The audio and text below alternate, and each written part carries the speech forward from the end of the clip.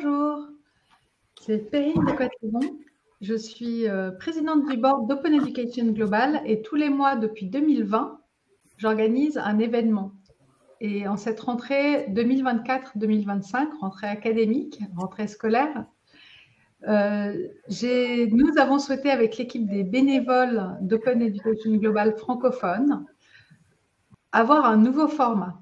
Ce nouveau format s'appelle le podcast. Alors, ça peut sembler très ancien, puisque ben, à mon arrivée dans l'enseignement supérieur, j'étais déjà surprise de découvrir, ce vocable podcast.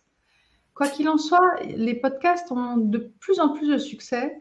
Euh, parfois, ils sont uniquement audio, mais il y a aussi des versions audio et, vidéo. Et là, on est dans un entre-deux. Ça donne euh, l'occasion en 2024 d'entendre des parcours inspirants, de, découvrir des personnes.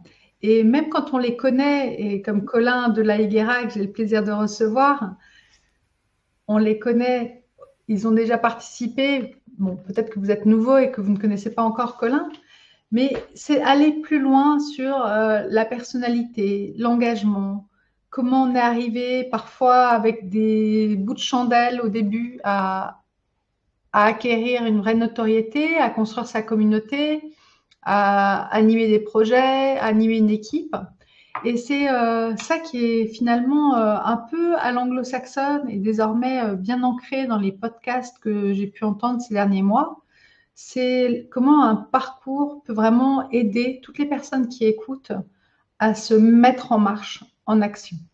Comme on est dans une époque euh, géopolitique compliquée, avec aussi les dérèglements climatiques qui arrivent, et que nous, ici, nous pensons que l'éducation ouverte peut vraiment changer le monde en mieux, eh bien, euh, cette année, on va chercher des parcours inspirants et des personnes qui sont mises en route et qui ont pris leur bâton de pèlerin et qui arrivent à des beaux résultats.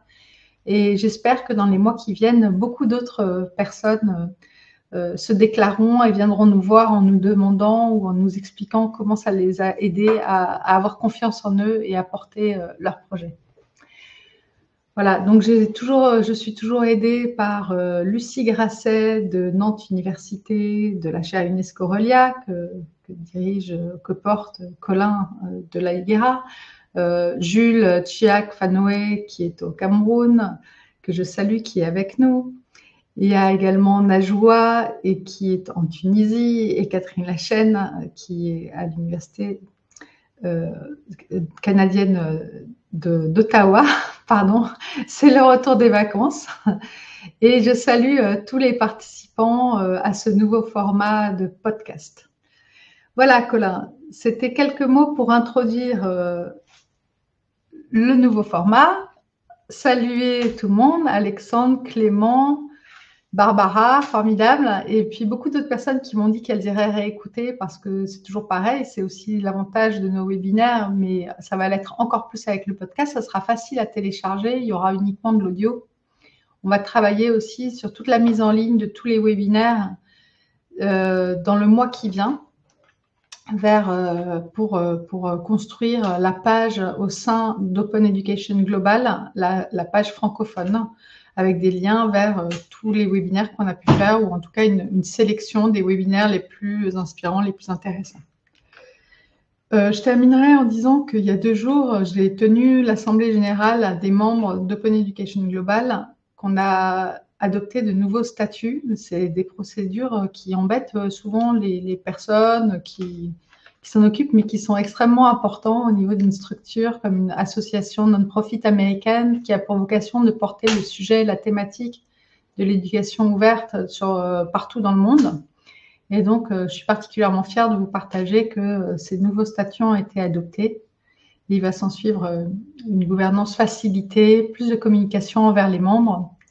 Et la semaine prochaine, on se retrouvera, Colin, à Paris aussi, puisque la semaine de l'apprentissage numérique de l'UNESCO euh, se tient avec toujours une très très forte, un très fort support euh, à l'open education comme moyen de soutenir l'objectif de développement durable de l'agenda des Nations Unies 2030 pour l'éducation de qualité. Voilà, j'en ai fini avec les actualités, quelques actualités. Et euh, Colin, Je te donne la parole. Parle-nous de ton engagement, des origines de ton engagement, un peu qu'on te connaisse un peu mieux comme personnalité et ensuite que tu nous racontes tout ce qui est en train de se passer aujourd'hui à Nantes Université. Bonjour, merci Périne, puis euh, bonjour à tous et à toutes. Alors, je, c'est un, ouais, c'est un, j'ai fait dire webinaire, pas du tout. C'est un podcast d'août avec ce que ça comporte comme incertitude, c'est-à-dire euh, ben, on continue à être pas tout à fait en vacances, mais le cerveau n'est pas complètement rentré, donc euh, comme je disais hier à Lucie, j'arrive à réfléchir ou à parler, les deux en même temps, qui normalement, ben, dans un mois, un mois et demi, ça ira. Là, ce stade-là, c'est plus compliqué. Vous allez me, me pardonner peut-être des erreurs à cause de ça. Euh, je, je, vais essayer de répondre à la question de, de Perrine, euh, mais en fait, le vrai but, c'est de faire effectivement un tour d'actualité de, bah, de, de, ce qui s'est en train de se passer en ce moment autour de, des REL ou de l'éducation ouverte, euh, et puis de bon, faire le point sur un certain nombre de projets que nous menons à la chaire euh, UNESCO, à la chaire Relier, ou à un autre objet dont je vais parler dans un instant, le, le réseau UNOE. Euh, donc ce sont des, sujets, des, questions qui nous intéressent. Donc je l'avoue, j'ai quand même préparé des slides que je ne vais pas diffuser puisque la règle du jeu c'est on est en mode on est postcard, mais moi je vais en servir, ça va me permettre quand même effectivement d'organiser mon exposé. Donc tu m'avais sollicité Perrine sur des questions de parcours. Et euh, dans un premier temps, j'étais un petit peu réticent, en train de dire contente-toi de euh, la, la, biographie banale que j'envoie un petit peu partout. Puis après, en réfléchissant, je me suis dit, mais écoute, si ça peut servir à quelqu'un, en particulier à des jeunes, d'accord, bah, de se dire que, bon, effectivement, il y a un parcours pour arriver. Alors, je dis pas que c'est le succès absolu d'être chez UNESCO, mais à un moment donné, ben, euh, ouais, bon, un, moi, je suis plutôt fier de, de, de l'endroit où j'en suis, et puis, bon, ça peut être quand même une, une feuille de route pour des gens. Donc, euh, bah, dire qu'au départ, ben, j'étais étudiant à l'université, je n'ai pas fait euh, les grandes écoles, donc j'ai fait un parcours, euh, on va dire, traditionnel d'universitaire. J'ai quand même fait une thèse. Et ça, c'est vrai que euh, sur bah, des choses comme l'UNESCO, c'est important. Euh, dans un pays comme la France, la thèse obéit à certains critères qui sont euh, juste des critères, ça sert uniquement en fait finalement à devenir enseignant-chercheur, puisque ben, l'industrie n'a pas besoin, malgré un discours qui dirait autrement, n'a pas tant besoin que ça de doctorants. Mais euh, dans les pays anglo-saxons, euh, non, il faut avoir fait euh, la démarche de construction intellectuelle qui se fait dans une thèse pour ben, effectivement ben, aller, aller ce petit peu plus loin qu'on va réclamer. Ah, je me souviens qu'à un moment donné, on avait regardé le gouvernement de Barack Obama à l'époque et ils étaient tous docteurs alors qu'en face, on devait avoir le gouvernement de, de François Hollande, et je crois qu'il n'y en avait aucun, ou un qui était docteur, probablement le ministre de la Recherche, et euh, pour les autres, et bon, en fait, c'était euh, c'était moi. Donc, je cherche pas à dévaloriser les choses, je, cherche juste à dire les, les, parcours qui mènent à. En France, par contre, ce serait effectivement les grandes écoles qui mènent à. J'ai fait ça, j'ai fait une thèse, et ensuite, j'ai fait de la recherche purement euh, technique, c'est-à-dire la recherche que fait quelqu'un en laboratoire quand il fait des, choses. Euh, mais euh, il s'intéresse, il écrit des, des, articles, donc des articles, dans mon cas, sur, sur l'IA, sur le, le, machine learning, dans des conférences très techniques ou avec d'autres, des gens, probablement avec des profils très mathématiciens, on parlait de ça. Et puis, euh, et puis, et puis, et puis, quelque part, eh ben, euh, on commence à se dire qu'on aimerait bien que ça serve à quelque chose. On a l'impression que c'est bien, ça, sert à enrichir un CV, ça permet à un laboratoire euh, d'avoir ses, on va dire, ses articles, ces choses comme ça mais euh, mais c'est pas si utile que ça. Donc euh, on était un certain nombre à, à basculer euh, vers 2015, non avant ça, vers 2005, à basculer vers l'idée est-ce qu'on peut faire en sorte que ce qu'on est en train de faire est utile, en particulier est utile à la transmission de la connaissance. D'ailleurs, on sentait bien que la connaissance était quelque chose qui déjà à l'époque était un petit peu en train d'être c'est pas en danger, mais en tout cas, il y avait des gens qui pensaient que c'était une bonne idée de la confisquer ou de la rendre accessible via des mécanismes payants, et que nous on avait l'impression que ben, euh, cette informatique, ce machine learning, cette IA sur laquelle on travaillait, pouvait au contraire servir à la rendre beaucoup plus accessible. Donc c'est ce qui s'est passé, et petit à petit, ben, vous trouvez d'autres interlocuteurs, et l'UNESCO est un excellent interlocuteur là-dedans, et vous vous rendez compte que ce que vous faites, ou vos idées, ben, elles ont déjà un nom, et euh, ce nom, dans le cas qui m'intéressait moi, c'était euh, les REL, c'était bon, c'était aussi les communs, et que donc il y avait un moyen de bah, finalement de rentrer dans des communautés qui existaient et puis de travailler avec eux. Pas si facile quand vous êtes un sciences dures, parce que la plupart des gens dans ces communautés sont plutôt du côté euh, des sciences humaines, mais, euh, mais vous y arrivez, et puis, et puis bon, euh, une chose entraînant l'autre, et ben l'UNESCO a intérêt à avoir des chaires UNESCO, et vous vous dites que si vous voulez travailler par rapport à votre université utilement, efficacement, ben, ça peut être une bonne idée d'en demander une, et puis voilà, et puis, et puis voilà, et puis ça grossit, et puis aujourd'hui, ben, l'équipe de la chaire aujourd'hui, c'est quand même sept personnes, donc on est, on est une petite équipe de sept personnes, à cheval sur deux choses, à cheval sur les ressources éducatives libres, qui est plutôt le thème qui nous intéresse aujourd'hui, mais aussi l'intelligence artificielle, qui aurait pu être vécue ou vue comme un thème totalement différent, qui aurait été, euh, mais euh, qui n'a rien à voir, qui est juste la pièce rapportée, étant donné que moi je venais du, du domaine de ce domaine-là. Et en réalité, en fait, il y a, on va pas dire une convergence des, des deux questions, mais en tout cas, ces deux questions se sont mises à se s'interroger l'une l'autre. D'ailleurs, la question de l'IA a interrogé euh, la, question des REL. les REL ont besoin d'IA. L'IA est là, c'est plus difficile à démontrer, mais elle a aussi besoin de REL, elle a aussi besoin d'éducation ouverte. Et donc, eh ben, vous faites fonctionner les deux choses en même temps. Donc voilà, ça c'est un petit peu, j'espère, hein, c'est ma version du parcours de vie. Alors, euh, j'avais dit que je commençais par plutôt B, où est-ce qu'on en est, est-ce qu'il y a des nouveautés? Donc, raconter quelques nouveautés. Donc, la nouveauté numéro un, certains y étaient, certains ont, ont vu ça en, euh, juin. On a lancé le euh, Unoe. Unoe en français c'est moins rigolo, ça fait Unoe. En anglais c'est mieux, c'est You Know, d'accord? Vous savez. Donc le, logo est plus, le, nom est plutôt sympa. Et euh, c'est United Network on euh, Open Education. Donc, euh, un peu à la demande de l'UNESCO, un peu à la suite de, euh, de, Open Education Global 2022 qui s'était tenu à Nantes, eh ben, on a pensé aller un peu plus loin que juste travailler en tant que chair et travailler en réseau. Alors assez étonnamment, j'avais l'impression au début que ça servait à rien, que c'était juste bon, bah, voilà, on rajoutait une étiquette de plus. Et en fait, c'est absolument passionnant. Donc même si ça vient juste de commencer, mais travailler en réseau vous force à euh, réfléchir autrement. À tout moment, alors il y a, des contraintes. Hein. Vous travaillez en réseau, vous allez travailler avec euh, des gens typiquement en Afrique du Sud qui, euh, par exemple, au mois d'août, n'avaient pas du tout envie d'être en vacances.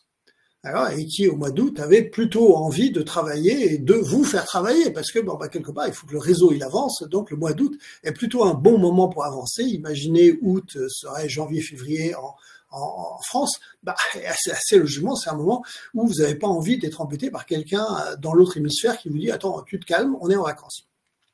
Donc c'est ça aussi être global. Alors global, c'est aussi se retrouver avec euh, des gens euh, en Nouvelle-Zélande avec qui il faut organiser des réunions. Donc vous calculez, il y a 12 heures de décalage, c'est pas si simple. Et si dans la réunion vous voulez en plus rajouter des gens en Tunisie, au Brésil, au Mexique, au Canada, eh ben ça devient assez rigolo. Donc le réseau a été déposé euh, toute l'année dernière, ça a mis assez longtemps, c'était euh, une expérience assez curieuse que de chercher à faire signer le même document dans euh, une quinzaine d'administrations différentes, avec des, bon, des histoires que je raconterai pas ici, mais qui, qui montrent que bah, on n'a pas la même vision de l'université, on n'a pas la même vision de la démocratie dans chaque pays. Il y a des pays extrêmement rigoureux des étages et, et du fait que la discussion pour un tel objet doit se faire partout. Et il y en a d'autres où c'est un rapide court-circuit, on attrape le président dans le couloir et puis on le fait signer. Donc c'est vraiment assez, bizarre. La signature, ou toutes les signatures sont intervenues au mois de mai. Et donc en juin, on a eu le lancement du réseau. Donc le réseau, j'ai pas décrit, j'ai des logos, des dessins. Vous pouvez aussi trouver des informations sur le web et je sais que Lucie partage des liens. Donc le réseau est euh, aujourd'hui constitué de 15-16 partenaires. Euh, un peu partout dans le monde. Donc on a un partenaire à l'Uruguay, on a le Mexique, on a l'Afrique du Sud, le, le, Liban, la Tunisie, le Maroc. Enfin dans chaque cas c'est un établissement. Euh, et comme j'ai dit tout à l'heure, on va jusqu'à l'autre bout de la planète, on va se retrouver, on va se retrouver en Afrique du Sud. Et bien entendu, on a aussi quelques partenaires européens donc euh, en Espagne ou euh, en, en, en, Allemagne ou en Slovénie par exemple. Donc, euh, ce réseau, il sert à quoi? Ben, Il sert en fait à prendre des problèmes qu'on regarde systématiquement euh, dans chacun de nos pays. Hein. demain, quels sont les logiciels qu'on peut utiliser pour créer des, des textbooks, pour, pour créer des REL, pour partager les REL et puis de se demander si finalement ça marche de la même manière dans chacun des pays, et puis euh, les choses que chaque pays réussit à faire en plus, et au contraire les obstacles que certains pays euh, ont et auxquels on ne pouvait pas penser. Et là, euh, clairement, la, notion de nord-sud, elle prend tout son sens. Hein. C'est des choses qui pour nous sont évidentes, ne vont plus l'être quand vous allez passer dans le, dans le, dans le sud global. Euh, voilà, donc ça c'est le genre de choses qu'on fait. On est en train de monter des projets, des projets excitants euh, dans lesquels j'en reparlerai dans un instant, on s'intéresse à la notion de ce que j'appelle Global Open Textbooks, c'est-à-dire de se demander finalement, euh, au-delà des grands euh, publishers, des grands éditeurs qui pourraient être internationaux qui réfléchissent à ça, est-ce que nous, les communautés open, on est capable de réfléchir à des livres de texte, à des à des, manuels ouverts qui se déclinent dans plusieurs langues en même temps et sans que ce soit une approche top-down, sans que ce soit une approche où il y a nécessairement juste un écrivain et puis ensuite d'autres qui, reprennent le sujet. Mais est-ce qu'on peut réfléchir à autre chose?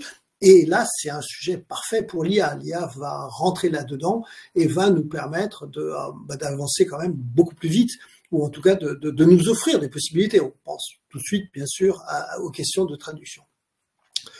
Euh, voilà, donc on a on a d'autres projets parce que ceux qui étaient au lancement de la euh, de la chaîne, pardon, du réseau auront noté que euh, le keynote avait été donné par quelqu'un de France, par François Tadei, et François Tadei a beaucoup insisté sur la fête de, pardon, le fait d'associer les jeunes à nos travaux.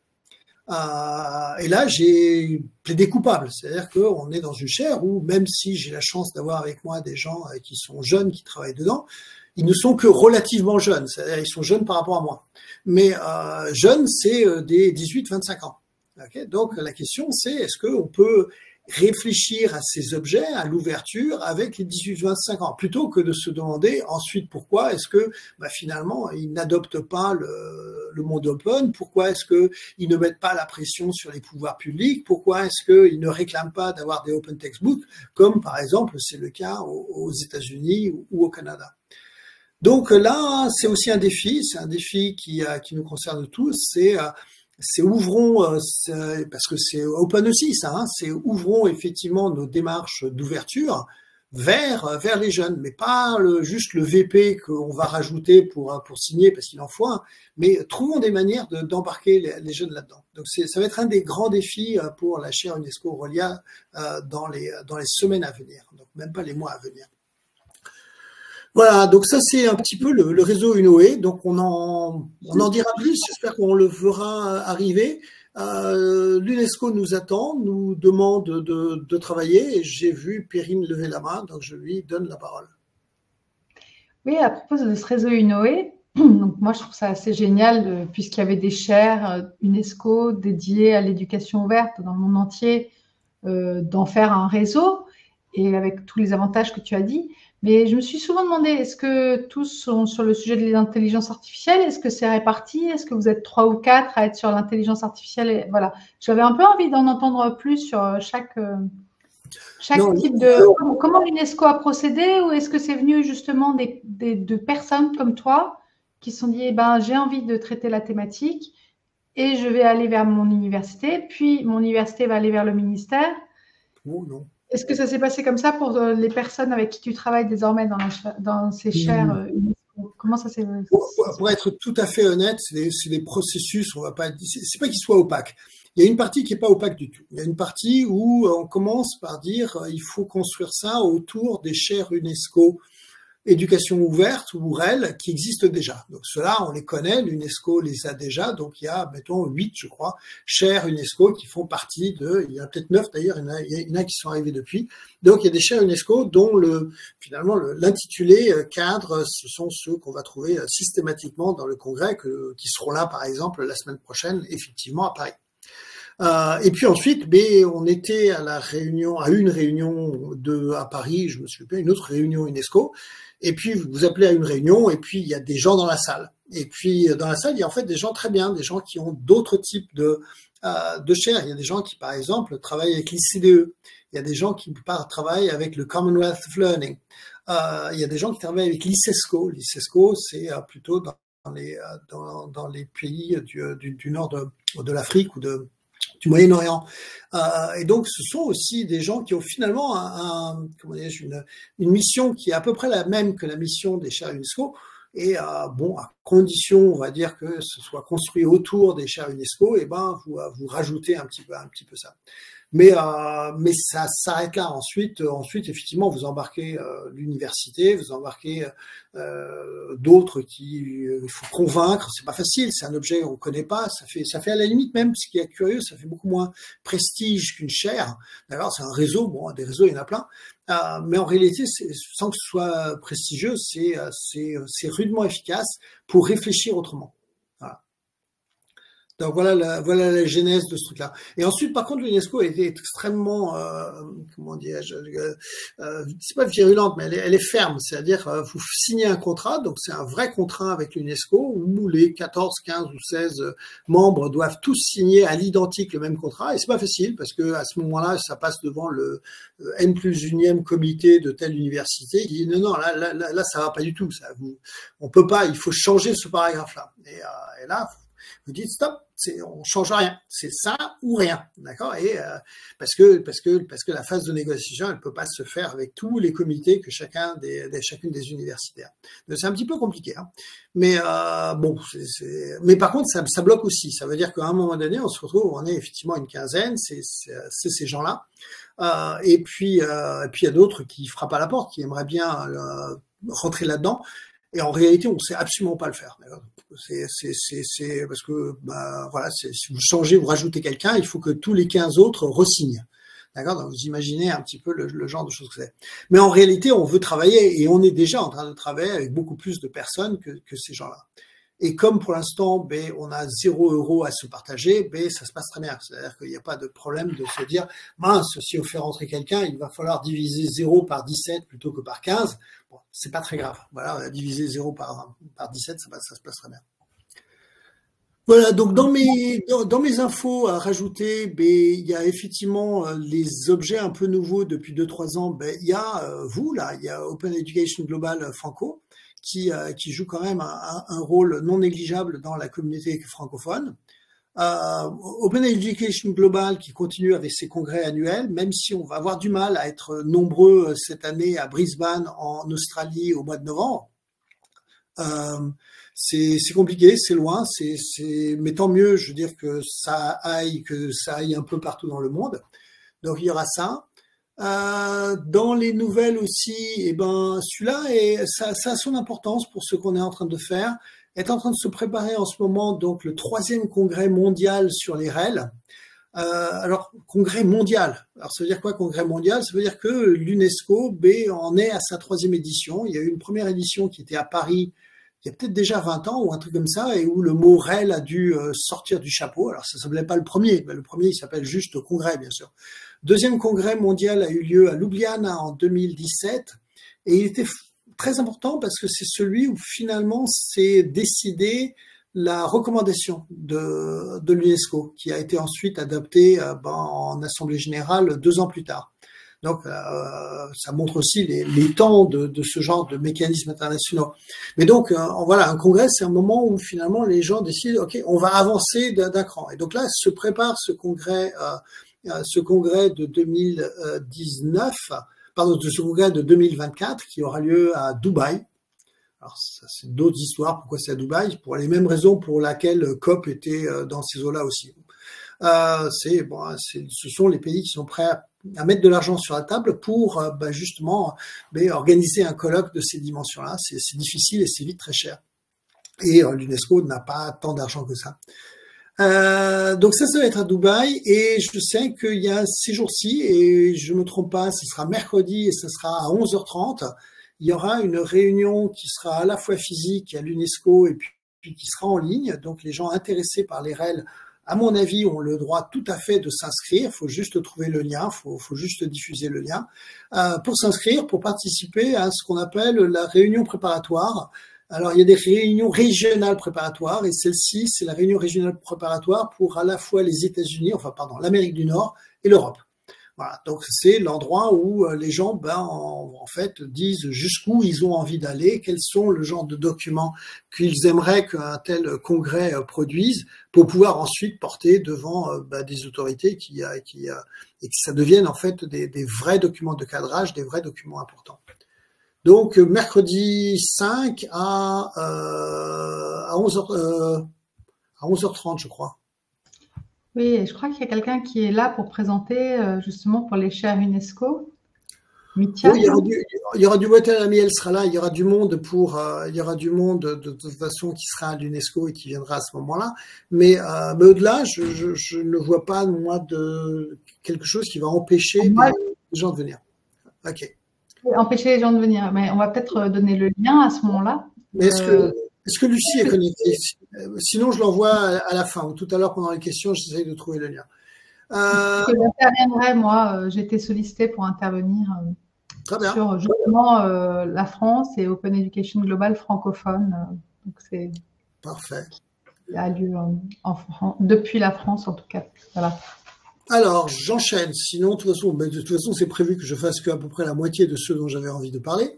Euh, c'est connu, c'est que c'est comme ça qu'on a fait toujours comme ça. Et alors, voilà, au, mois d'août, c'est encore pire. Alors, ce que je voulais faire de la pub pour un nouveau blog, et là aussi, il faut que je passe le lien, un nouveau blog sur l'éducation ouverte, euh, qui euh, qui a la particularité d'être un blog multilingue. Donc là, on s'essaye à faire un exercice de style assez amusant. Donc, euh, c'est dans le cadre d'un ce qu'on appelle aujourd'hui des universités européennes. Alors, c'est une alliance qui s'appelle EUNIWEL, Nantes Université en fait partie. Et euh, il y a une dizaine d'universités un petit peu partout, partout en Europe, et je crois qu'il y avait huit ou neuf langues qui sont concernées. Et il fallait donc, on voulait tenir un blog sur l'éducation ouverte, et puis on s'est dit, ben non, si on veut être ouvert, on va pas le faire en anglais, alors ça n'a pas été facile, hein. on a eu beaucoup de, résistance, beaucoup d'autorité entre mais non, mais non, il faut le faire en anglais, c'est toujours en anglais. L'anglais, c'est la, la, la, langue véhiculaire, c'est la langue par laquelle on va faire les trucs. Et on s'est dit non, on va faire ça, euh, en fait, chaque auteur va écrire dans sa langue et va assurer la traduction dans au moins une autre langue. On a suggéré que la deuxième langue pourrait être l'anglais, mais c'est pas obligé, d'accord? C'est-à-dire, il peut y avoir une deuxième langue en anglais. Et donc, sur des articles sur ben, des initiatives qui se font en éducation ouverte à droite et à gauche. On avait chez nous quelqu'un qui a été quand même capable de bidouiller un petit peu les, euh, les WordPress et puis les, euh, les, les, feuilles de style WordPress pour nous trouver un, truc, un thème et puis des, des, astuces qui marchent bien. Et donc là, ben, je peux pas vous le montrer, mais euh, si vous avez le lien, eh ben, vous allez pouvoir le trouver. Et moi, vous allez tomber sur une page où on vous dit, ben, est-ce que tu veux tout en français? Est-ce que tu veux tout en anglais? Est-ce que tu veux tout dans bah, finalement la langue dans laquelle euh, chaque auteur a écrit son article? Et donc moi j'ai choisi ça. Et puis quand j'ai ça, eh ben je vais avoir un, article en espagnol, un article en allemand, un article en magyar et, ainsi de suite. Alors c'est assez amusant parce que bien sûr à tout moment je peux obtenir les traductions des différents articles, mais mais je crois qu'on est en train d'explorer des, euh, des, des choses différentes. Et ce qui est rigolo, c'est que ce qui semble impossible, c'est-à-dire on vous explique que ça marche pas, qu'il faut absolument faire tout en anglais ben en fait très vite les gens disent bah ouais pourquoi? C'est quoi le problème? D'ailleurs et puis ouais, ouais ouais depuis le début je suis pour. Tu dis attends on a on a bien ramé pour arriver là mais en fait en réalité voilà. Donc donc quand on pense open d'accord eh ben euh, il y a une manière, bien sûr, de gérer euh, les différentes langues qui sont, par exemple, comme fait euh Open Global francophone, c'est-à-dire on se crée notre objet à nous, et puis ensuite, on peut aussi se dire, bah ouais, mais la francophonie est à peu près capable de résister à, l'anglophonie, mais ça marchera pas pour les autres. Pour les Suédois, ça marchera pas pour, enfin, c'est plus du tout la même dimension. Il y a, d'autres enjeux qui vont jouer. Donc, est-ce qu'on peut quand même jouer entre guillemets international? Est-ce qu'on peut jouer international tout en ne cédant pas nécessairement à rentrer là-dedans? Donc voilà, donc ça c'est des expériences. Ça, ça c'est à la fois des expériences techniques, il faut réussir à régler les choses, et puis euh, c'est des expériences euh, qui vont un peu plus loin. C'est des expériences qui vont sur euh, ben, aussi sur les usages et qui sont tout à fait amusants. Et bien entendu, c'est un grand renfort d'IA parce que bon, en fait, on se rend compte qu'on traduit et puis, puis au bout d'un moment, ben, on se dit, on dit à des copains, tiens, j'ai écrit un truc, ça peut intéresser chez vous, mais je parle absolument pas l'italien. Donc, si je fais la traduction par ChatGPT ou par euh, par DeepL, je sais pas le résultat, mais tu veux pas prendre le relais, et puis ouais, ouais, ben vas-y. Et puis et puis on, a, on arrive à avancer avec ça. Donc ça, c'est un, projet un petit peu en cours, un petit peu intéressant. J'espère que voilà, jour, il faudrait peut-être qu'on aille le raconter à, Open Education Global ou, ailleurs. Euh, mais c'est vraiment en cours, hein, c'est vraiment de l'expérimental euh, complet. Bon, et puis euh, qu'est-ce que j'avais en fait à dire pour finir? Non, juste pour finir, mais, euh, bah, dire que en fait c'est des temps plutôt amusants, c'est-à-dire que c'est des temps dans lesquels, pour plein de raisons, euh, à condition de, de, faire le travail que nous faisons aujourd'hui ou qu'on fait à d'autres cas, c'est de beaucoup discuter, de, de beaucoup comprendre qu'est-ce qui est en train de se passer réellement. Ben en fait c'est un bon moment pour euh, pour l'éducation ouverte ou pour les REL. la pression mise par l'IA fait que, ben, en particulier, on est voilà, on a les, les gens sont intéressés par le fait qu'on arrive en train de dire ouais j'ai une réponse différente, d'accord? C'est-à-dire que c'est pas une réponse contre, c'est une réponse différente. C'est une réponse différente. On a on a d'autres choses à vous proposer qui peuvent venir compléter, qui peuvent venir contrebalancer, qui qui, qui peuvent vous apporter des choses. Donc euh, on sent plus qu'un frémissement, on sent dans les ministères en France en tout cas, euh, on, on, sent une volonté de faire euh, avancer ces thèmes. Parfois, c'est pas le mot euh, REL qui est euh, mis en avant. Parfois, c'est le mot commun. Alors, c'est, je sais que Barbara est connectée et, et que euh, c'est des sujets qui l'intéressent, la différence euh, entre REL et commun. Et elle m'a convaincu que c'est effectivement très différent. Mais c'est très différent. Mais, euh, mais, mais bon, la bonne nouvelle, c'est que malgré tout, autour de ces questions, il se passe vraiment des choses. Tu voulais aussi nous parler du fait que les REL et l'éducation ouverte, pour toi, c'était pas la même chose et que tu préférais parler d'éducation ouverte. Oui, euh, non, d'abord c'est pas la même chose. Les REL sont une des composantes de l'éducation ouverte. Hein. On va aussi parler de, des pratiques éducatives ouvertes, des Open Educative Practices, et puis euh, du software, des, des, questions de logiciels.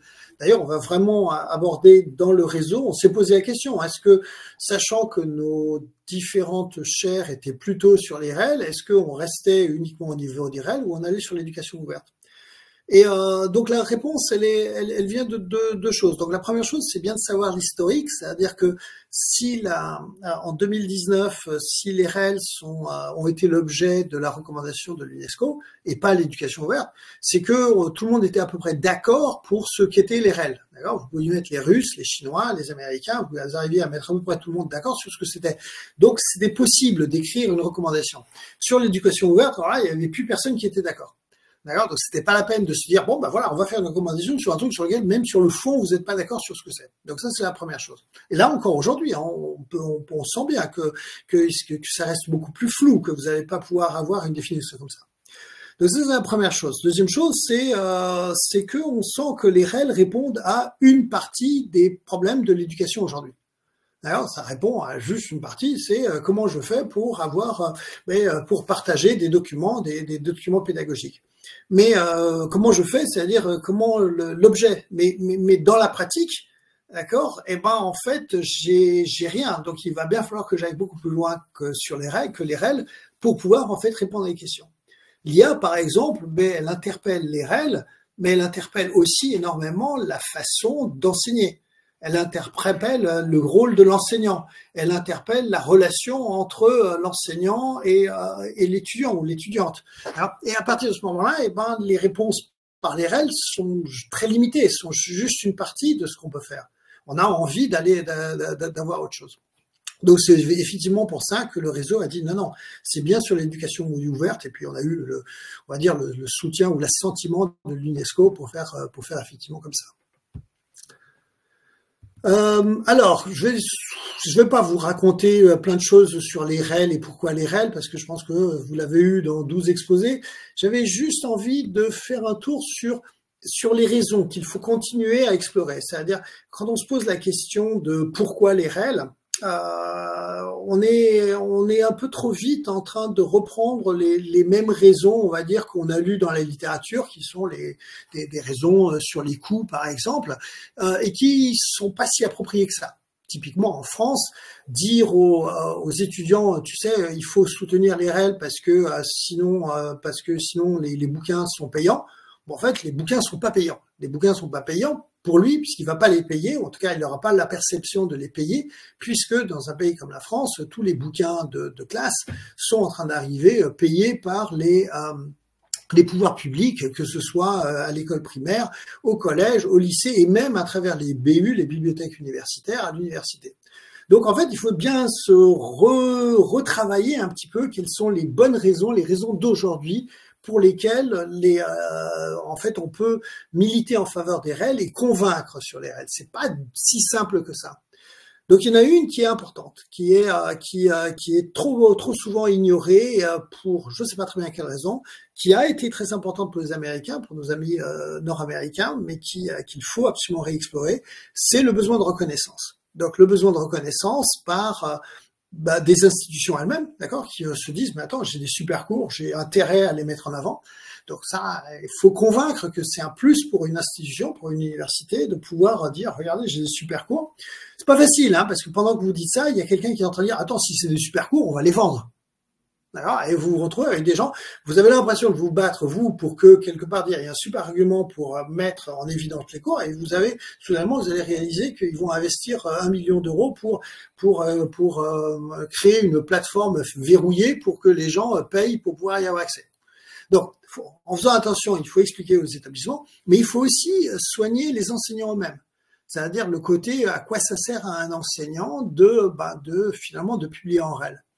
Et euh, faut pas se voiler la face. On sait que, par exemple, euh, bah, ça joue peu dans les carrières des enseignants-chercheurs. Hein. C'est pas quelque chose qui va marquer nécessairement euh, des points.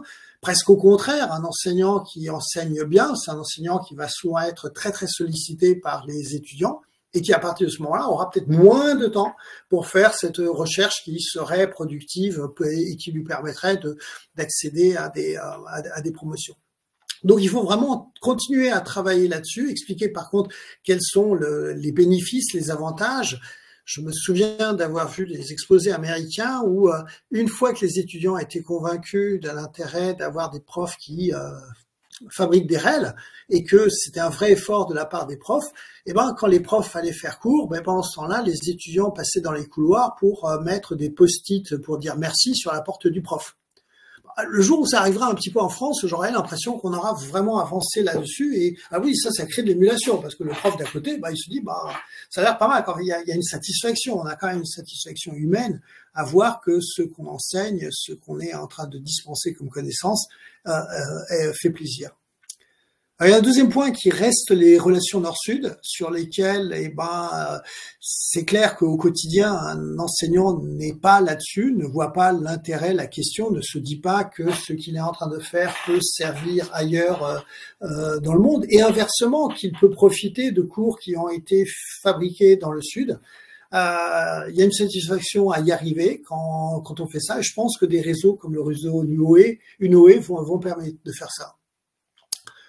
Euh, le coût des livres est quand même important et euh, le coût des livres euh, reste quelque chose en France. Je sais pas, moi j'ai évalué entre 500 millions d'euros à 1 milliard d'euros par an ce que la France dépense auprès des éditeurs pour acheter les livres scolaires ou les livres universitaires qui, qui sont ensuite redistribués soit dans les bibliothèques, soit dans les familles.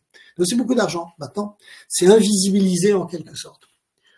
Euh, la sécurité des enseignants, et ça, avec euh, l'IA, ça va être un argument important. Euh, un enseignant doit être en sécurité. Alors la sécurité, c'est au sens où, à la fois quand il va utiliser du matériel, il a envie de savoir que le matériel qu'il utilise est de qualité, que quelque part il vient d'un, enfin, je sais pas, qu'il a été construit typiquement par la communauté, par ses pairs, qui n'a pas nécessairement été passé comme c'est un petit peu en train de devenir le cas par un unique éditeur qui en plus a des idées nauséabondes, d'accord, qu'on n'a pas envie nécessairement de soutenir. Euh, donc cette sécurité-là, elle compte. Euh, il y a une autre sécurité, bien sûr, c'est c'est la sécurité de de savoir que ben, le matériel que j'ai entre les mains, bah, il est il est légal. D'accord? C'est-à-dire qu'une licence Copyright Commons fait, c'est l'idée que derrière, il y, a, ben, il y a des gens qui ont fait euh, l'effort de mettre en accord à la fois le, matériel, les photographies, les vidéos, des choses comme ça, et donc que, l'enseignant qui s'en sert et qui va peut-être les repasser à un autre enseignant est bien dans son droit en train de le faire. D'accord? Et enfin, il y a des, euh, bon, en fait, avec l'IA qui va aujourd'hui être en train de pousser du matériel, ben, un enseignant va avoir du mal à distinguer finalement le, bon du moins bon, la qualité de, la non-qualité. Vous regardez ce qui se passe quand vous êtes sur Internet et que vous lisez des informations.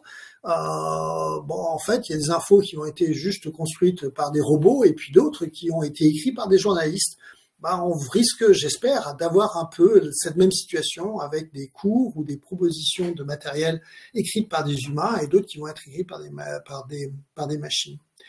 Il y a un argument qui me tient beaucoup à cœur en ce moment, c'est l'argument de euh, rendre l'étudiant ou l'étudiante, l'élève, euh, en quelque sorte propriétaire de la connaissance acquise. Alors je vais essayer d'expliquer un petit peu ça sans prendre trop de temps, mais euh, l'idée c'est que euh, on est dans une ère où l'information, généralement parlant, est très volatile. mais ce qui est embêtant, c'est que l'information apprise l'est aussi. Alors je m'explique, les fameux livres dont je parlais tout à l'heure, les textbooks, eh ben, certes, ils ont été payés par les pouvoirs publics, mais en fait, ils sont pas à vous. D'accord? À la fin de l'année, il faut les rendre. Donc, vous avez appris sur un bouquin qui finalement a formaté votre façon euh, d'apprendre les choses, et euh, que vous les ayez acquis ou pas acquis, ben, vous allez le rendre à la fin de l'année et vous n'y avez plus accès. D'accord? C'est aussi simple que ça. Ou alors, il faut avoir un petit frère, une petite sœur. Euh, sur nos euh, LMS, c'est la même chose ou à peu près? Dès que, enfin, à l'université, et depuis que je raconte ça, tout le monde me dit, ah ouais, chez nous, c'est la même chose aussi. Mais euh, à la fin de l'année, quand vous avez obtenu votre UE, votre, votre enseignement, votre module, eh ben, vous le validez et à ce moment-là, pouf, vous êtes, vous disparaissez de Moodle ou de, ou du LMS vous n'existez plus, vous avez plus accès à tout ce qui est là. Alors bien entendu, vous auriez pu, si vous aviez été sage, ramasser tout ce matériel, en faire des copies, créer chez vous, je sais pas quoi, enfin un environnement dans lequel, au fur et à mesure, vous faites ça, mais en réalité, vous le faites pas.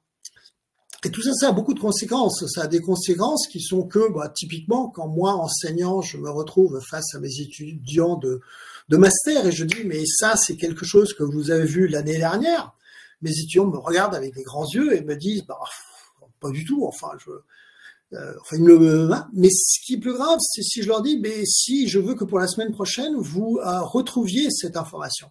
En fait, ils n'ont aucune stratégie qui leur permet de la retrouver.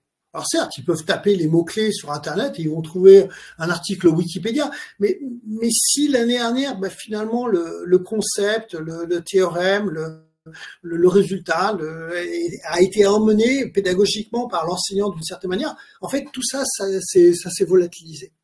Donc on n'est pas, on est dans un, voilà, on est dans un enseignement euh, très volatile, très éphémère, et bah, je milite un petit peu pour aller vers des enseignements plus durables. D'accord? On parle de développement durable. Bah, si on se demande ce que c'est qu'une éducation durable, ben on irait vers là. Et là, si j'avais droit à mes slides, je montrerais un slide où je ferais de la pub pour un article coécrit avec Barbara, qui, euh, qui, si elle a le courage, elle, elle, met la référence dans le dans le chat. Donc on avait, euh, voilà, on a, on a commencé à regarder ces questions-là. Euh, alors ça donne d'autres choses. Hein. C'est euh, bien sûr il y a des coupures encore plus nettes. C'est celle entre le, le lycée et l'université. Alors là, tous les enseignements le lycée sont perdus quand vous allez du lycée à l'université c'est pire. Aujourd'hui, on commence timidement à aller vers des plateformes, des LMS, qui sont compatibles entre le lycée et l'université. Sinon, les professeurs de lycée n'ont pas accès au matériel des universitaires et les euh, professeurs universitaires n'ont pas de droit d'entrée pour aller sur les, LMS du lycée. Ça donne lieu à des, à des trucs assez délirants où depuis des années on nous demande de travailler ensemble sur du moins 3 plus 3, sauf que même moi je n'ai pas le droit d'aller sur Magistère ou d'aller sur les plateformes de, de l'éducation nationale. Donc je, je, peux en parler, je peux leur dire que c'est très bien. mes collègues me le montrent, mais, mais moi j'ai pas droit. Et, et, et, donc ça aussi, ça c'est des choses qui jouent. C'est-à-dire on est on n'est pas en train d'avoir une connaissance acquise euh, qui est bah, finalement ouverte, c'est-à-dire qui est accessible aux différents acteurs à différents moments de leur carrière ou de leur vie. Ce que j'imagine demain, c'est quand même qu'un élève, quand il sort euh, de l'université, mais euh, cinq ans plus tard, il a envie de retrouver euh, une connaissance, de retrouver quelque chose qu'il a vu à l'université, qu'il puisse le retrouver. Et, c'est des choses sur lesquelles on est peut-être moins bon qu'il y a qu'il y a 10 ans, parce que ou 20 ans ou 30 ans, parce que il y a 10 ans, 20 ans, 30 ans, il y avait effectivement quelques supports physiques, des supports qui, qui pouvaient rester. On pouvait avoir gardé son polycopier, on pouvait avoir gardé un bouquin ou deux. Là aujourd'hui, c'est absolument plus le cas. Voilà. Bon, donc voilà, donc tout ça c'est important parce que je pense que c'est euh, des arguments euh, à explorer. Il peut y en avoir d'autres, et si vous en avez d'autres, n'hésitez pas à, me les passer. Des arguments qui réussissent à convaincre les gens que notre éducation est fermée. D'accord? Donc, euh, et qu'il faut la l'ouvrir, parfois juste la rouvrir, c'est-à-dire par rapport à avant. Euh, et parfois, c'est parce que, alors, il y a toutes sortes d'explications à ça. Parfois, c'est nous qui avons changé. Parfois, c'est le monde. D'accord? Si vous y réfléchissez, vous regardez autour de, enfin, dans vos cartons, vous allez trouver des CD, des DVD, des, euh, des vidéos, toute une série de choses qui montrent qu'à une époque, vous gardiez votre culture. D'accord? C'est-à-dire, vous aviez une, un film que vous aimiez bien, vous gardiez la vidéo, vous aviez un, un, une musique que vous aimez bien, vous gardiez le CD. Aujourd'hui, on ne garde pas parce que bah, finalement, on se dit, bah, je le trouverai sur Netflix ou je le trouverai sur Spotify. Et donc, on, on a l'impression qu'on va tout trouver sur le cloud. Alors pour la culture, ça marche à peu près, même s'il doit y avoir certains films, je défie bien de, de, de, de les trouver. Mais, euh, mais, mais, mais, mais pour, euh, pour les, pour l'éducation, ça saute moins aux yeux. Je suis persuadé qu'on ne retrouve pas ben, finalement les chemins d'apprentissage par lesquels on était passé quand on a essayé d'apprendre quelque chose. Ouais, ça me fait penser euh, cette discussion sur tous les intérêts de la pédagogie ouverte, euh, de, de, des différentes façons de vanter et de, promouvoir l'éducation ouverte. Ça fait penser à la pédagogie ouverte qui est celle par laquelle les enseignants enseignent aux étudiants à prendre des notes de cours partagées, ce qui n'est jamais évident, euh, puis euh, de façon à permettre d'élaborer un polycopier. On peut aussi s'en servir d'année en année. Au bout de trois ans, on est convaincu, l'enseignant lui-même, qui relit chaque année euh, les cours les uns après les autres, euh, peut à peu près savoir que là, c'est vraiment de bonne qualité et, et ça va servir à tout le monde. C'est-à-dire que c'est très inclusif pour euh, les personnes malvoyantes, malentendantes, avec maintenant beaucoup plus de possibilités qu'avant encore de sortir du son ou, ou du braille. Et, et vraiment, je, je, trouve que c'est quelque chose auquel on ne pense pas assez. C'est toutes les compétences numériques que ça développe, en fait, des compétences de culture générale, du web, des comportements. Euh, et de vivre ensemble aussi. Et, je trouve que ça, c'est vraiment un argument qui n'est pas assez euh, promu, puisque tu disais qu'il y avait un manque d'accès aux, cours euh, à la fin des fins. Et il me semble qu'il y a aussi beaucoup d'enseignants qui font cours à l'oral et qui n'ont pas vraiment le même cours à proposer, l'équivalent de leur cours oral à proposer aux étudiants. Euh, encore aujourd'hui, euh, pour l'accueil la, des personnes empêchées, ou euh, handicapés, bah on est en plein paralympique euh, en France, et bah, je trouve ça un peu regrettable. Voilà. D'accord. Non, mais je, je, je peux qu'adhérer. Et, euh, et, mais ça montre aussi ce que tu es en train de dire quand même que bah, finalement l'enjeu se déplace de la simple question des règles à la question de l'éducation ouverte. C'est-à-dire que c'est le comment on fait les choses plus que le juste la question du support. Ça, ça n'était pas de toute façon hein, quand tu allais à Open Education Global, il y avait plein de gens qui discutaient d'autres choses que de la simple REL. D'accord, la, la REL c'est le c'est le cœur, mais c'est mais, mais mais ça suffisait pas. Ok, donc euh, bon, je continue un peu, mais sur un ou deux sujets. Donc j'avais envie de parler d'un de mes sujets un peu euh, euh, à part celui-là en ce moment, mais c'est un sujet abordé euh, très récemment et qui là lui aussi rejoint un peu le, les questions d'open. Euh, alors ça va faire peur, hein, surtout en éducation. Là, c'est la, question du mérite. Alors la question du mérite, elle m'est arrivée parce que euh, à un moment donné, pas à un moment donné, à plusieurs moments, les gens vont me faire des questions quand je fais un exposé comme celui-là. Et une des questions, c'est oui, mais tu comprends, là, j'ai mon problème en tant qu'enseignant parce que j'ai des problèmes pratiques. Mon problème en tant qu'enseignant, c'est euh, j'ai des élèves à qui euh, je vais devoir mettre une note et quand je corrige, j'ai vraiment, ben c'est très bien, quoi. Enfin, c'est plutôt bien, mais je me doute qu'ils ont utilisé euh, ChatGPT ou une IA ou je sais pas quoi et ils ne le méritent pas. Et comment je fais? Et donc là, ça, ça, ça, pose plein de questions. Hein. La question du mérite, elle, elle est là depuis tout le temps. On a tous le souvenir d'avoir mis des euh, mauvaise note à des gens très méritants qui malgré tout, même s'ils étaient très méritants, bah, enfin c'est quand même vraiment pas terrible ce qu'ils avaient rendu. Et puis on a aussi le souvenir inverse, que euh, malgré notre irritation, il y avait des gens qui ne faisaient absolument rien, mais qui réussissaient très très bien et qui avaient euh, donc droit à des, à des bonnes notes, même si ça irritait un petit peu l'enseignant. Donc on sait ça, mais là dans ce cas-ci, en fait, la question du mérite, elle, elle vaut vraiment la peine d'être explorée différemment parce que c'est l'endroit où ces objets, ces IA, arrivent à nous, à nous poser des problèmes ou à poser des problèmes à l'enseignant. C'est-à-dire, c'est le fameux problème qui, depuis le début, hein, agace. C'est le problème des notes, c'est le problème de l'évaluation des connaissances. Euh, est-ce que je peux mettre une bonne note à quelqu'un qui finalement n'a rien fait? Bah, euh, Si, tu l'as déjà fait.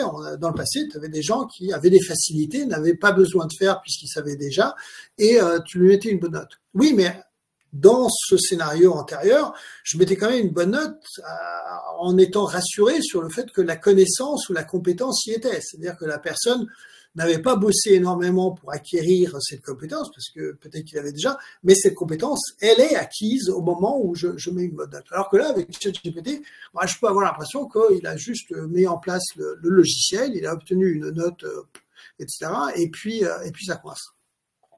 Donc ça, ça nous emmène en fait vers des questions de politique, de policies. Quelles sont les politiques des établissements? Qu'est-ce que les établissements sont en train de donner comme politique aux enseignants?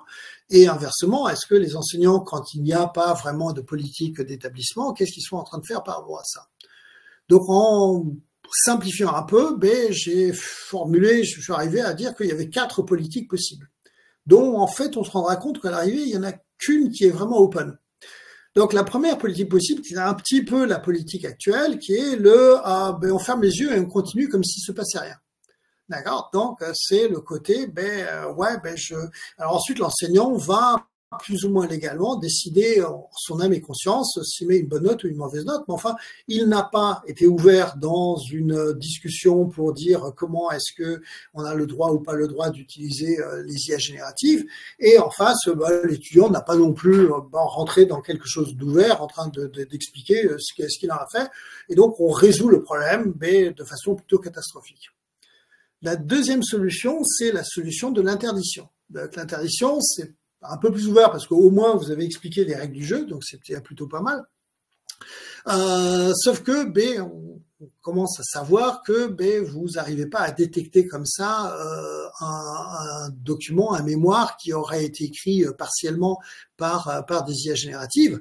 on connaît des, des, systèmes, on connaît des, des, logiciels, des humanizers qui permettent de passer à travers les détecteurs, et même si les détecteurs qui ont envie de, d'être achetés par, euh, par les universités se vantent d'être capables de détecter. En réalité, on ne détecte que ceux qui veulent se faire détecter, c'est-à-dire qui ont été assez bêtes pour ne pas faire un minimum pour pouvoir en fait cacher, euh, cacher le fait que qu'on a triché. Donc la deuxième stratégie, elle est ni très ouverte, ni en fait euh, fonctionne, elle marche pas. La troisième stratégie est une stratégie courageuse qui est suivie par, par certains établissements, qui est celle de se dire, B, je vais euh, juste me contenter de... Euh, non, pardon, je veux pas juste me contenter. Je vais mettre des règles, mais euh, ces règles vont être très pédagogiques. Je vais essayer d'expliquer aux étudiants dans quel cas ils ont le droit d'utiliser, dans quel cas ils n'ont pas le droit d'utiliser. Et puis, euh, bon, je vais leur demander aussi à eux d'être très honnêtes et de, quand ils l'utilisent, mais selon les cas, on va mettre un petit logo, un petit pictogramme, on va euh, expliquer quel est le prompt exact qu'on a utilisé. Enfin, il y a toute une série de choses.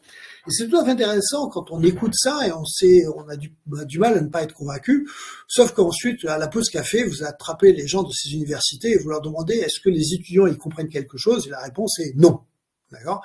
Que c'est en fait horriblement compliqué et puis qu'un étudiant il a du mal à savoir pourquoi est-ce que ben finalement dans ce cas-là je peux l'utiliser, dans ce cas-là je peux pas et que pourquoi est-ce que je vais enfin bon c'est assez compliqué. Alors c'est du vrai open, c'est-à-dire que si on le faisait bien, et si vous avez des exemples d'endroits où ça se passe bien, je suis très très preneur. Euh, mais, euh, mais, en réalité, ça a du mal à fonctionner. Et donc, il y a le, la quatrième possibilité. Et la quatrième possibilité, c'est celle qu'on n'est pas en train de faire, sauf quelques exceptions. Donc, j'ai vu passer des, des écoles à Paris euh, qui euh, bah, sont arrivées à la conclusion, un peu celle que vous avez peut-être eu depuis qu'il y a des correcteurs orthographiques, moi en tout cas, je, je suis beaucoup plus exigeant sur la qualité des mémoires de mes étudiants. Alors c'est là il y a cinq ans, euh, dix ans, ben, quand les étudiants faisaient des erreurs dans leur, s'il y avait beaucoup trop de fautes d'orthographe, ben, je, je m'épouvantais, mais bon, bah, c'était comme ça. Je savais qu'il y avait des gens qui avaient des difficultés. J'allais pas nécessairement obliger chacun d'entre eux à aller payer quelqu'un pour relire et pour euh, corriger leur manuel, leur, leur, leur mémoire. Aujourd'hui, non. Aujourd'hui, je n'admets pas que quelque part des fautes qui seront détectées par des correcteurs orthographiques m'arrivent. D'ailleurs, c'est c'est juste un manque de respect, c'est un manque d'envie de faire de rendre un travail de qualité. Et donc en fait, ces établissements sont arrivés à la conclusion que ben, euh, ChatGPT et, compagnie, ben, euh, c'est juste des outils excellents pour aller beaucoup plus vite, aller beaucoup plus loin. Donc, en fait, le niveau pour eux monte. C'est-à-dire que vous vous n'êtes pas en train de dire vous n'avez pas le droit. Non, non, au contraire, vous avez le droit. Simplement, mais là, maintenant, moi, je vous attends là. D'accord? C'est-à-dire mon niveau d'exigence, il a augmenté. C'est-à-dire je, je, ne suis pas en train de dire je veux garder le même niveau d'exigence, accepter que ChatGPT rentre là-dedans et trouver une solution pour qu'il fonctionne. Alors en quoi? Donc voilà, donc ça c'est juste euh, là où euh, j'en suis. Je suis pas allé beaucoup plus loin dans la réflexion, à part de discuter avec ces équipes pour voir jusqu'où, comment on mesure ce, cet écart par rapport à. Mais ce qui est intéressant, c'est de faire le lien avec l'open là-dessus. C'est-à-dire que tout ça, c'est pas des choses qui peuvent se faire juste comme ça. C'est des choses qui doivent se faire dans des euh, process extrêmement ouverts et dans lesquels, eh ben, en fait, il y a quand même une certaine transparence dans, euh, dans, dans, dans, ce qu'on dit, dans ce qu'on accepte, euh, et ça, va être assez important. Donc, c'est des sujets sur lesquels on, on, travaille, on fait, on fait un petit peu attention.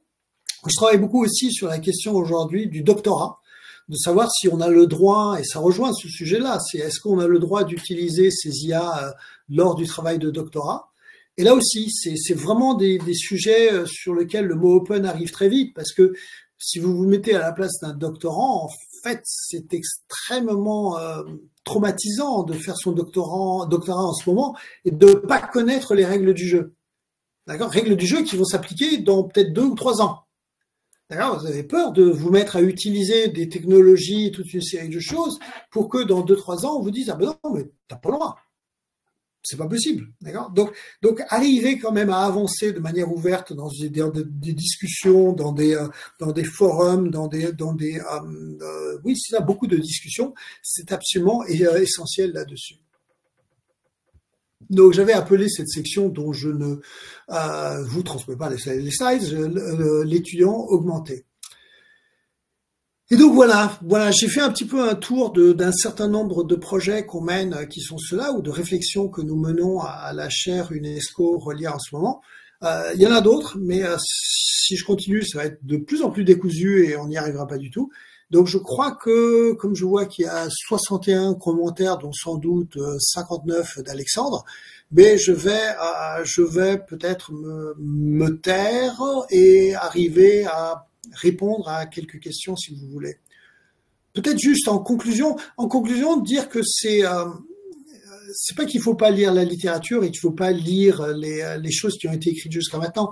C'est que je crois vraiment que euh, l'IA, l'IA, Covid aussi, bouscule, a bousculé complètement le monde de l'éducation et fait que la place de toutes nos idées, de toutes nos questions, de tout ce qu'on regarde, elle, elle doit être réenvisagée et en fait, elle nous est extrêmement favorable. D'accord? Elle est vraiment très très favorable à ces idées-là. Mais il faut, il faut, il faut les travailler. Je sais que là, il y a des gens dans la salle qui font ça et qui font ça très bien. Voilà. Merci Colin. Oui, on va regarder, euh, regarde les questions pendant que je, je, parle un peu.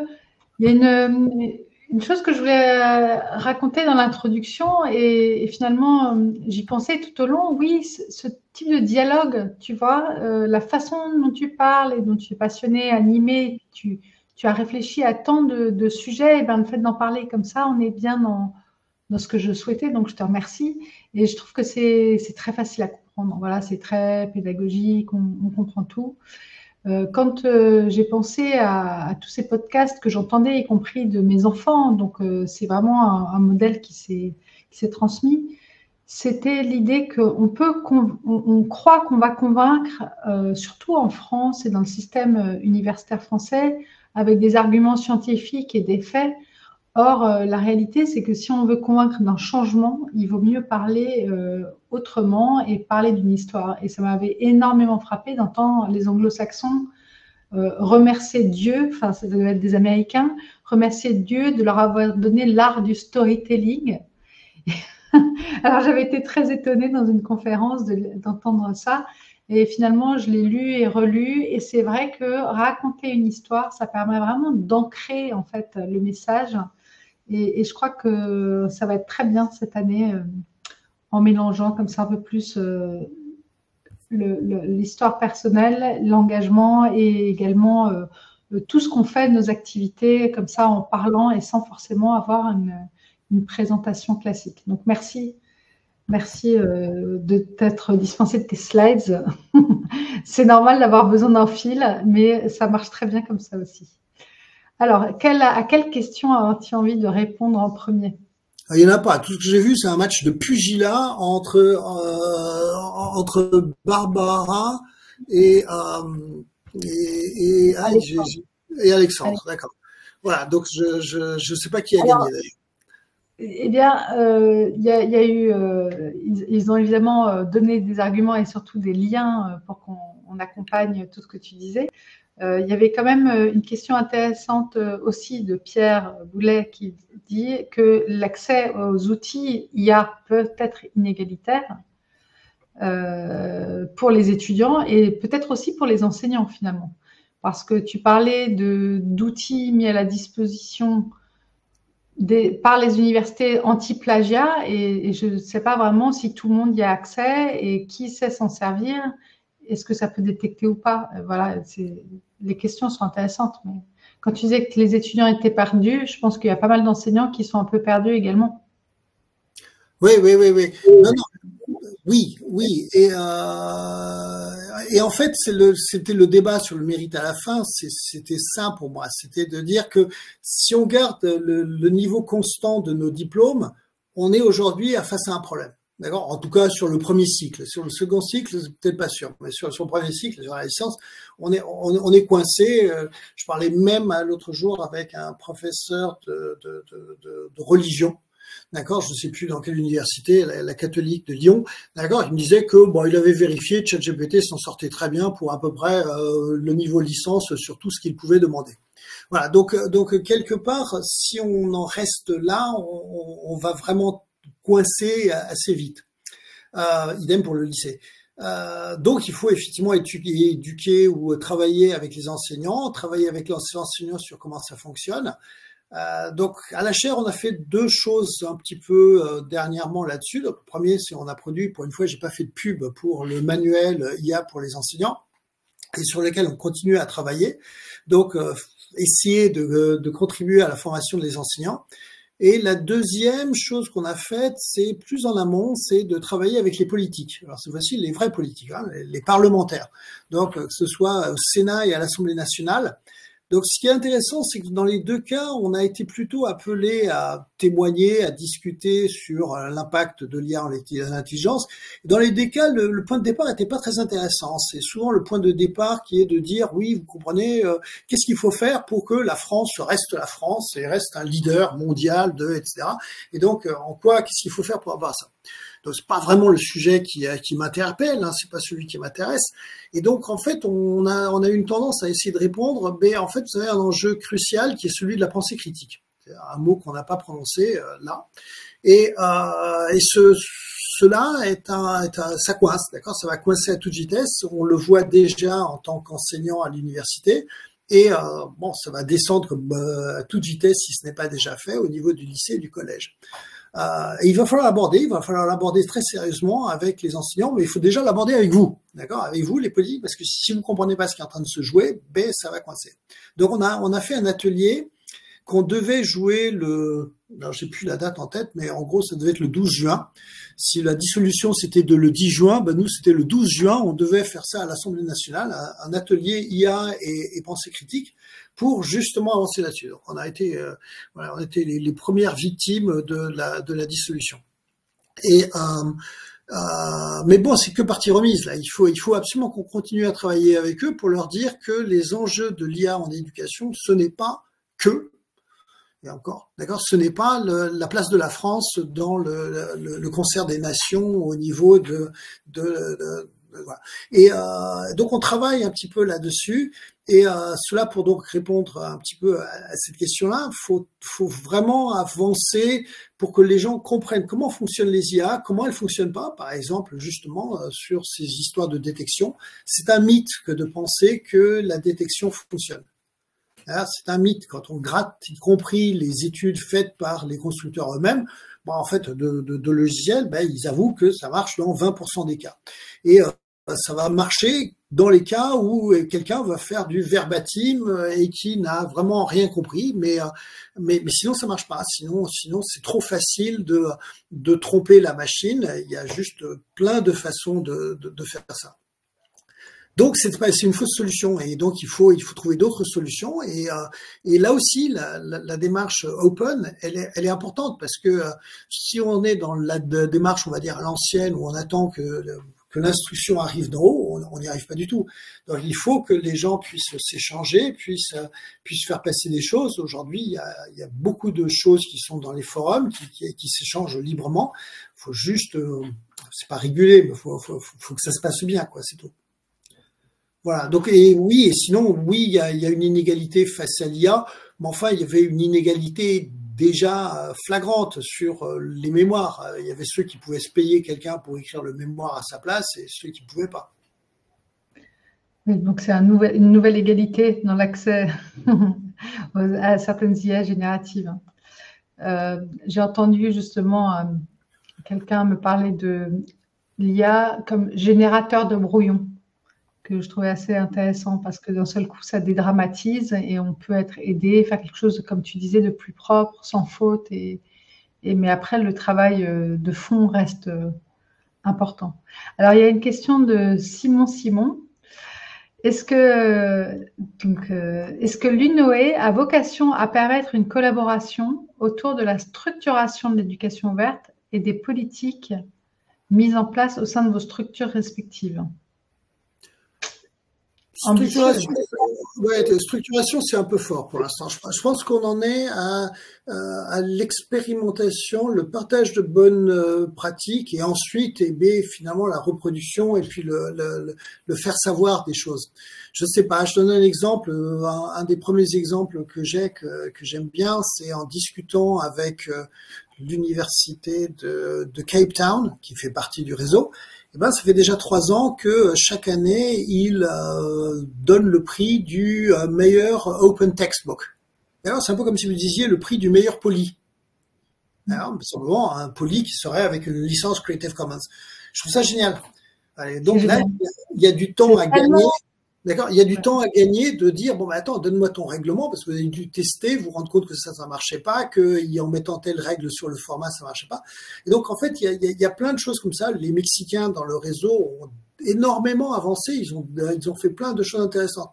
Mais là, voilà, ça c'est un exemple de, de choses qu'un réseau comme celui-là permet de, de faire remonter à la surface des expériences, des choses qui se font ailleurs, et de se dire, bah, on peut capitaliser là-dessus, on peut essayer de, de trouver un modèle, et puis peut-être même de fournir la fiche, dire, voilà, vous n'avez qu'à prendre ce règlement-là, euh, le faire traduire par ChatGPT si vous voulez, d'accord, et puis euh, vous montez ça, et euh, en quelques années, ben, vous allez avoir des enseignants qui se sentiront valorisés parce qu'ils sont en train de produire de la connaissance ouverte.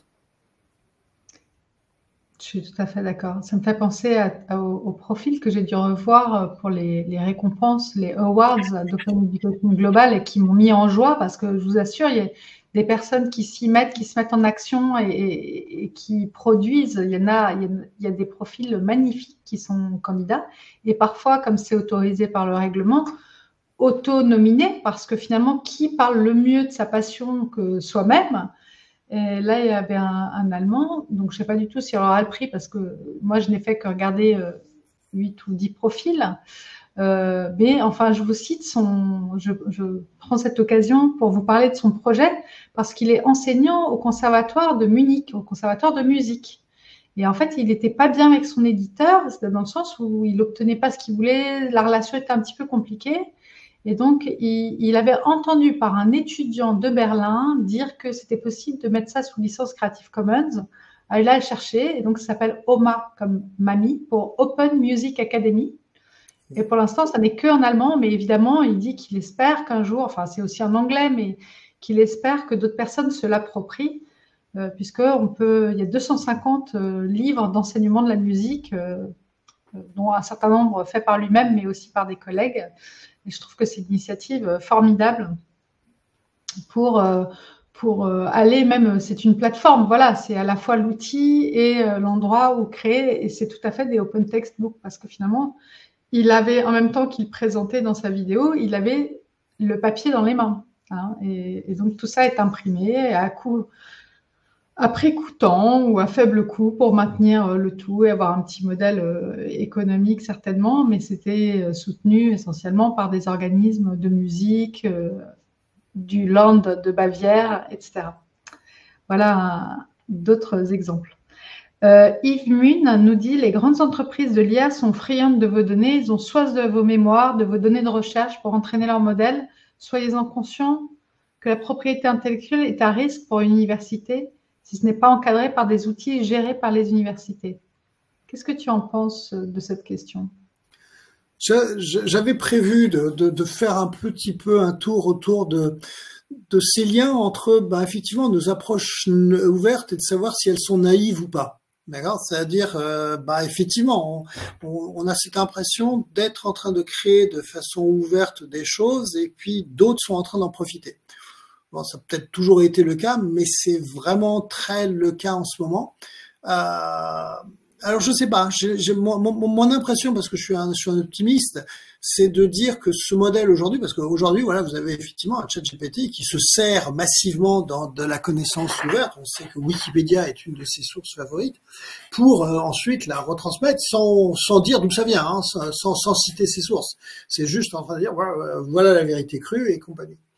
Euh, mon impression, mais, je peux me tromper, c'est que euh, quelque part, à un moment donné, euh, on, alors je sais pas qui est on là-dedans, euh, on va préférer un, cours écrit par un humain, identifiable, que quelque chose qui a été juste conçu par une machine, pour plein de raisons, pas simplement la raison de, je sais pas si c'est vrai, si c'est pas vrai, c'est, alors, ça c'est moi qui suis optimiste parce que je sais qu'il y a déjà des bouquins qui sont écrits par ChatGPT qui s'arrachent et que les gens s'achètent et qu'ils sont très contents de voir. Euh, mais j'ai quand même cette impression que tant qu'on est euh, responsable de, de, de, la connaissance qu'on est produite et qu'on la signe, eh ben ça intéresse les gens. Alors qu'on la signe, ça va être intéressant. C'est-à-dire pour l'instant, quand on mettait une licence en bas d'un document, on se protégeait. Et j'ai l'impression que demain, en fait, ça va être une valeur ajoutée. D'ailleurs, c'est-à-dire, je vais mettre une licence en bas de mon, de, de, de, mon cours et ça va être une valeur ajoutée. C'est-à-dire, c'est une espèce de garantie pour l'autre de dire je peux le réutiliser. Et puis, c'est aussi une garantie de dire, bah, tu sais, le bail qui est là, la personne qui vient de signer, bah, en fait, c'est une vraie personne. C'est, il assume ce qui est là. D'accord? Et, et, et, ça peut avoir son importance. Mais je l'ai dit, je suis, je suis naïf. Et sinon, sur le reste, oui, non, bien sûr qu'il y a, un pillage, euh, il y a un pillage qui est, pour nous, on le découvre. D'autres pays, euh, en particulier du Sud, ont été pillés euh, bien plus longuement pendant, pendant bien plus longtemps. Je voulais en profiter pour faire une pub sur deux choses. je vais essayer de, voir comment je la, la partage. C'est, il y a la semaine prochaine, il y a aussi un événement en français qui peut intéresser les gens qui est une conférence qui est à, euh, qui est à Lausanne, qui est euh, les Open euh, Science Days. Ça dure quatre jours. Et le mercredi, il y aura une journée sur les, bah, sur les REL ou sur l'éducation ouverte. Donc, faut taper. Euh, alors, il faudrait que je réussisse à le récupérer. Allez, cliquez maintenant? Ouais, J'y arrive pas. Ah oui, si. Je vais le mettre dans le chat. Ah, bah, est en train de taper. Et donc ça c'est ça c'est dans le chat euh, et euh, il y a j'y fais un keynote où je vais sans doute revenir sur toute une série de ces, questions-là, mais au-delà de moi il se passe des choses et on peut s'y inscrire euh, gratuitement pour pour y assister en ligne. Donc ça c'est bien. Voilà. Ouais. Et, alors, il y a Barbara qui ajoute, donc ça y est, c'est en ligne. Hein. Barbara ajoute, c'est ça le plagiat au sens de Bergada. Ne pas citer ses sources ne permet pas de remonter la source du savoir. Or, c'est la base de la, déontologie académique, de montrer sur qui on s'appuie pour construire la connaissance qu'on apporte ou à laquelle on contribue. Est-ce que OpenAI a jamais été pointé du doigt pour plagiat? Hmm. C'est intéressant la question de, Barbara. Je disais que je fais des, conférences avec les doctorants. Et euh, bien sûr, la question du, plagiat arrive. Et, euh, et, en fait, on, on était content d'avoir ces logiciels anti-plagiat qui euh, nous rassuraient et nous permettaient de dire je peux maintenant tester le plagiat. C'est-à-dire je peux prendre un document et puis euh, le document d'un élève et vérifier si c'est du plagiat et puis il me dit que c'est 60%, 80%. Et en fait, en réalité, le plagiat en question, qui est devenu la, définition du plagiat, parce que c'est celui des logiciels anti-plagiat, est une définition très syntaxique.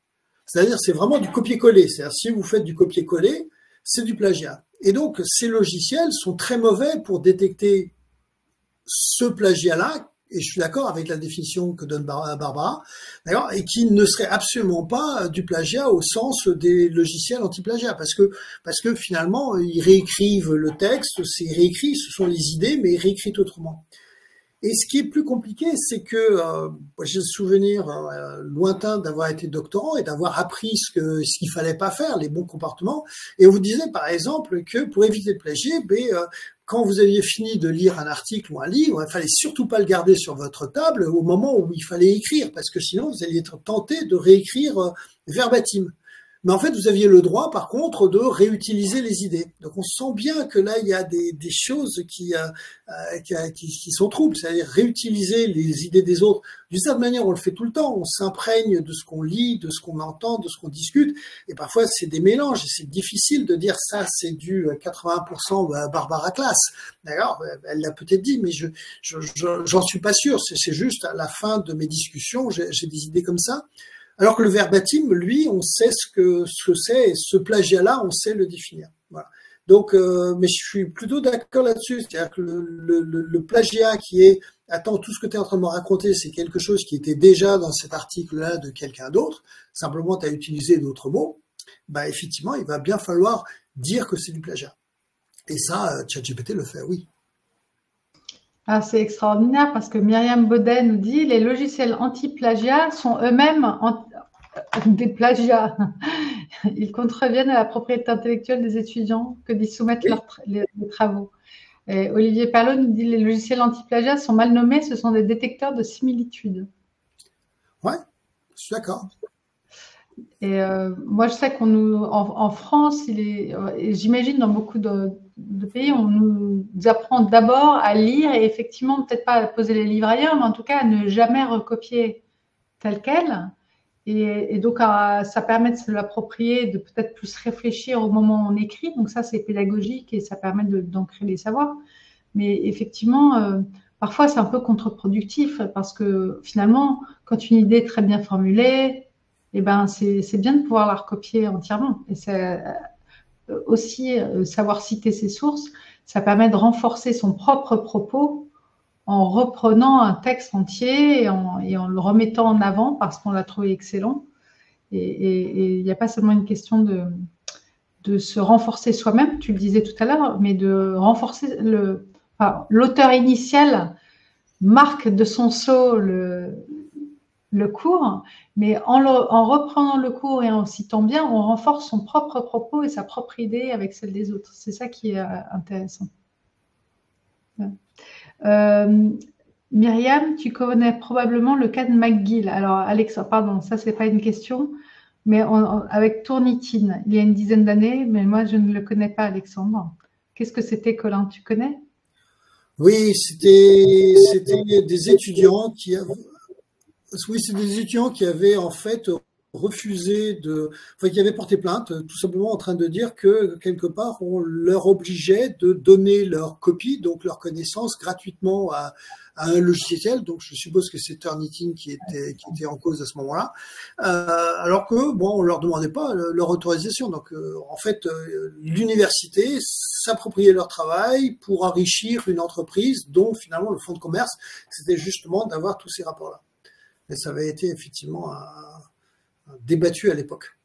Voilà, bon, alors on s'est remis en avant, mais j'imagine que c'était assez rare. Hein, mais il y a un autre truc intéressant peut-être à dire là-dessus, c'est euh, sur ce, donc ce plagiat euh, qui est purement syntaxique. Imaginons ce qui va se passer quand ces mêmes logiciels s'attaquent aujourd'hui donc à la question du plagiat à, la Barbara, d'accord?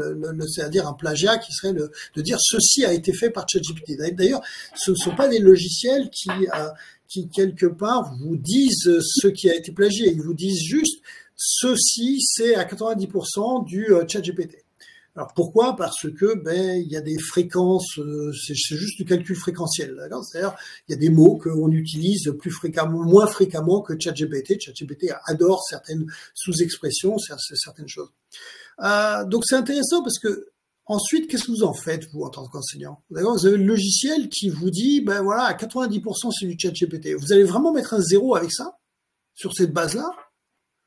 Ouais, j'ai aucune preuve. Hein. J'ai juste un logiciel qui m'a dit que dans le cas aujourd'hui de ces logiciels de recherche de similitude, je peux quand même mettre l'étudiant face au, à sa copie et puis en face le, le, Wikipédia et dire regarde, c'est quand même exactement la même chose. Il y a, cette notion de preuve qui fait son apparition. Là, il y a, absolument pas de preuve. Et puis en plus, ces calculs fréquentiels, ils fonctionnent sur des documents très longs ou sur des grandes collections. Donc c'est ce que les chercheurs font aujourd'hui quand ils cherchent à, à, démontrer, par exemple, que je crois que c'est 20% des articles scientifiques sont aujourd'hui écrits au moins en partie avec euh, avec ChatGPT. Ça, sur des très très grands volumes, vous pouvez avoir des certitudes euh, au moment où vous donnez des résultats de ce type-là. Sur des petites, euh, je sais pas, sur un, sur un mémoire de, de six pages, vous n'avez pas assez de données statistiques pour pouvoir dire quelque chose d'un petit peu sérieux, quoi.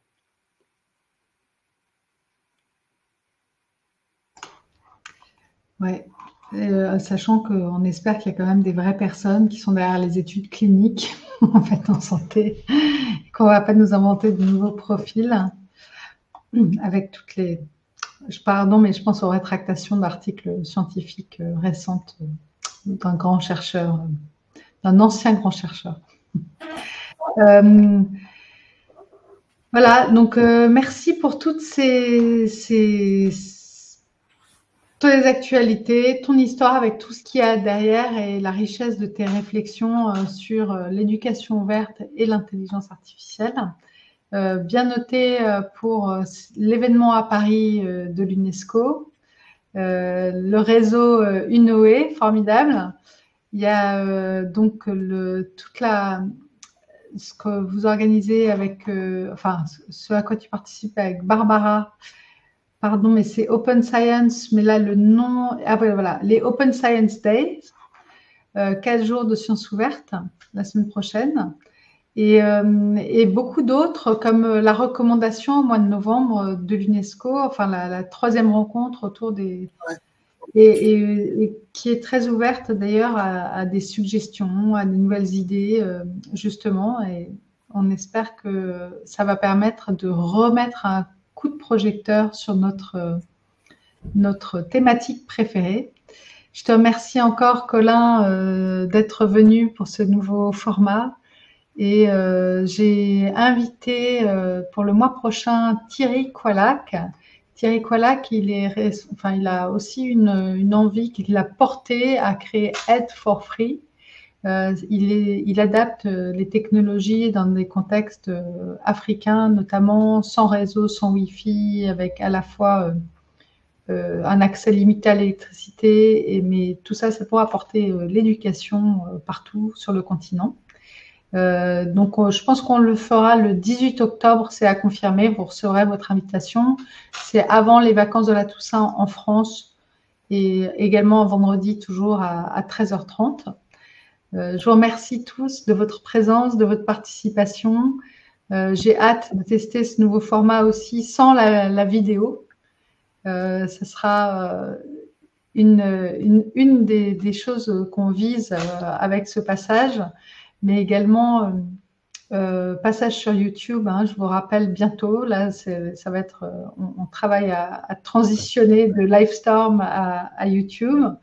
Euh, il y a des personnes qui n'aiment pas trop, qu'on travaille sur Google, mais on est encore trop émergent.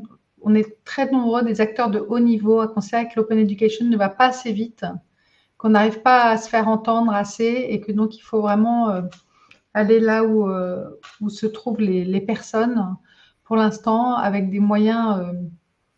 Euh, ensuite, euh, voilà, dans nos universités, c'est là qu'on a les, enseignants-chercheurs qui contribuent euh, avec des contenus, mais pour se faire connaître, nous et notre réseau Open Education Global francophone, on va aller sur, sur YouTube. je vous remercie. À bientôt pour les prochaines aventures. Il y a dans mi-septembre, il y a aussi justement les awards, mais c'est en anglais.